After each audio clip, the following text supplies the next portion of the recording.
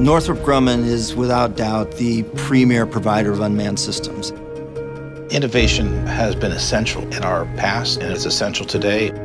We're very excited about our first flight on the U.S. Navy's Triton program. Triton is the Navy's first big step into unmanned aviation.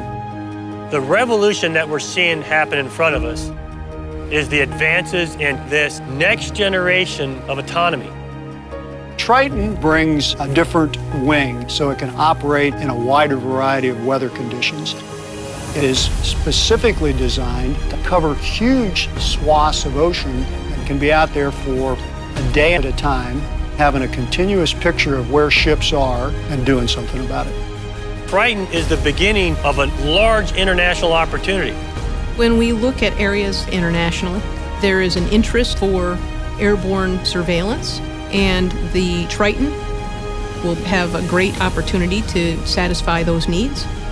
The Triton is going to be that aircraft that can get out there and it can stay in a place for a long time to build a picture of what goes on in the maritime. Triton is the future, and this future is coming.